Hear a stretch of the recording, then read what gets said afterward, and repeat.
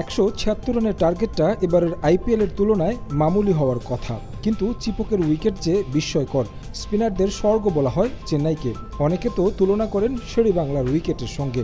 চিরাচরিত রূপ দেখাল এম এ চিদাম্বরম। সানরাইজার্সের ছুড়ে দেওয়া টার্গেটের পেছনে ছুটতে গিয়ে তাল ধরে রাখতে পারল না রাজস্থান। ওপেনিং জুটি ব্যর্থ, বড় সংগ্রহ এনে দিতে। চব্বিশ রানে ক্যাডমোর ফিরলে ভাঙে ওপেনিং জুটি। এরপর অধিনায়ক সঞ্জু স্যামসনকে নিয়ে ভালো একটা জুটি গড়েছে ঠিকই, কিন্তু তা লম্বা করা হয়নি।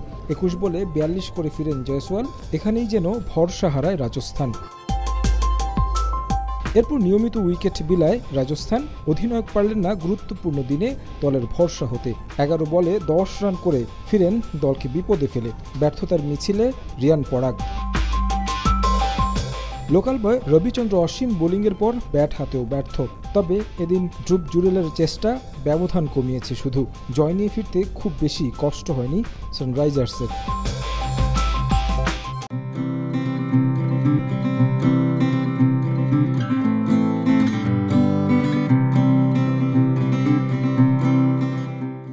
টস হেরে ব্যাট করতে নেমে খুব একটা ভালো শুরু পায়নি সানরাইজার্সের দলীয় তেরো রানে ফিরেন ওপেনার অভিষেক শর্মা।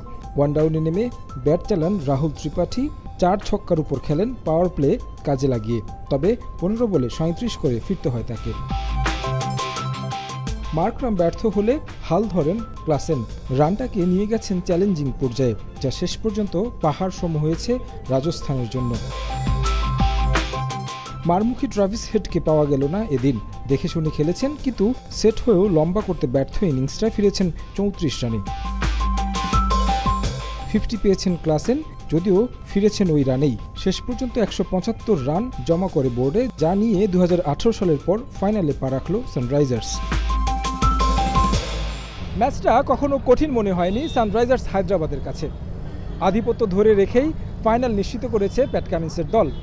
রোববারের ফাইনালে কলকাতার প্রতিপক্ষ সেই সানরাইজার্স হায়দ্রাবাদ, যাদেরকে হারিয়ে ফাইনালে পা রেখেছে শাহরুখের দল। এখন দেখার পালা কারা শিরোপা খরা কাটায়। চেন্নাইয়ের এম এ চিদাম্বরম স্টেডিয়াম থেকে তারেক হাসান শিমুল সময় সংবাদ ভারত।